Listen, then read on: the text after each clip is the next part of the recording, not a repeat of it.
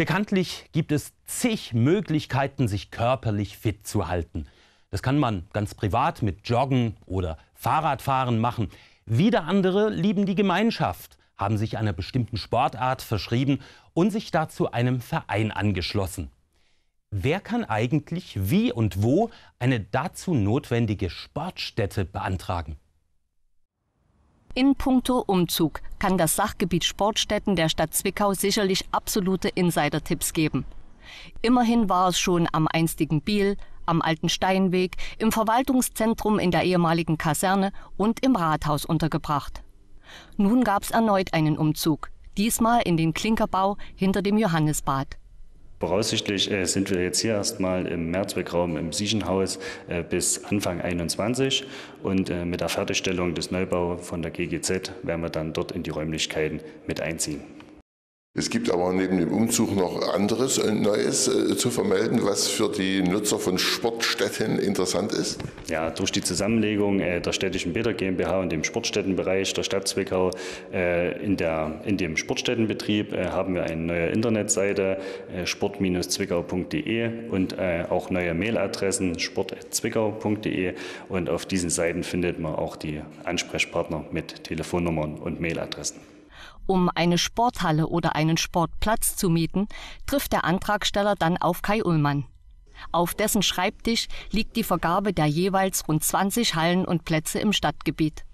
Die äh, städtischen Sportanlagen kann jeder nutzen, wenn natürlich äh, die, die, Zeit frei ist und nicht anderweitig belegt ist.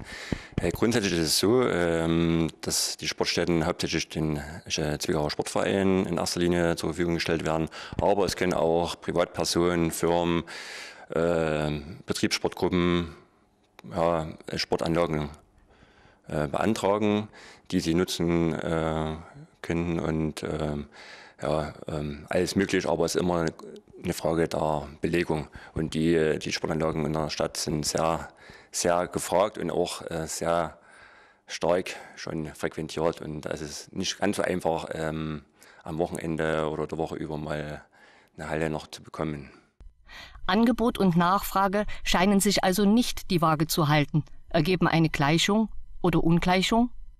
Ich würde sagen eher eine Ungleichung. Ähm, wir haben sehr große Nachfragen, insbesondere äh, bei den Sporthallen.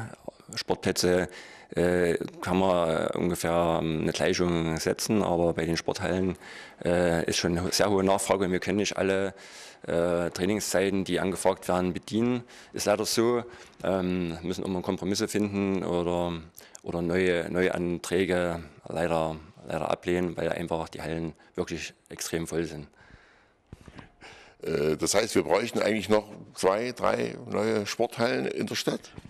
Wir würden uns darüber natürlich sehr freuen. Ist natürlich immer eine Frage der Finanzierung. Zur Finanzierung muss klargestellt werden, egal ob und welcher Spielklasse der jeweilige Verein angehört. Die Kosten sind für alle gleich. Etwas unterschiedlich ist es bei Unterstützungen für Wettkämpfe, die auch auf Ullmanns Schreibtisch liegen.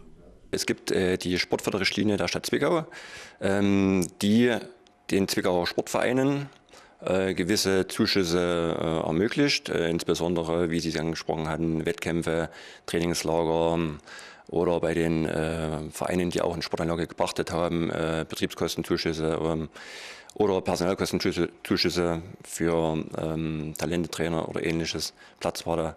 Ähm, das ist möglich. Gemessen am Umfang dieser Unterstützungen nimmt Zwickau über die Grenzen Sachsens hinaus, insbesondere im Osten, eine führende Stellung ein. Daraus sollten wir aufbauen und auch können wir stolz sein. Und äh, ja, die Vereine, denke ich, äh, wissen das auch gut zu schätzen.